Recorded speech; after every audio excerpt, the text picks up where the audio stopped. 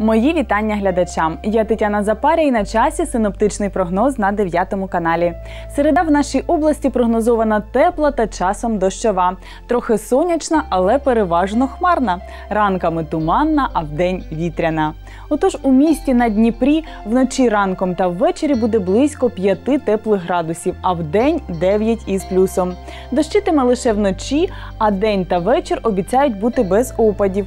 Проте передсвітанковий густий туман обмежить видимість, отож будьте уважні на дорогах. А щоб мати гарне самопочуття за будь-якої погоди, замовляйте безкоштовну доставку природної води від торгівельної марки H2O.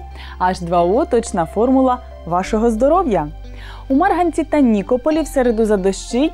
Короткочасні весняні зливи прийдуть сюди ще з ночі та й на увесь день. Термометри вночі покажуть плюс 6, а вдень до 9 вище нуля.